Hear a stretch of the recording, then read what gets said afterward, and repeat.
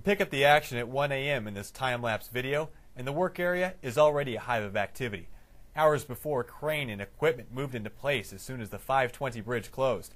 Crews hustle in the early morning hours to set 42 concrete girders for the new lidded overpass at 84th Avenue Northeast. Dawn breaks, and we see progress. Around the clock on this weekend closure, we see trucks hauling in these massive girders. Each are 75 feet long and weigh 75,000 pounds. With girders in place, the overpass takes shape. Work wraps up on one side and starts on the other. When completed next summer, the new lid will be 460 feet long and include a roundabout interchange. It's just one of three lids being built as part of this project. We'll be out here again with another closure June 1st through the 4th. Back at the job site, the closure clock ticks. Crews continue to work as their deadline to wrap up fast approaches. The road needs to be open by 5 a.m. Monday in time for the morning commute. And we made it with minutes to spare.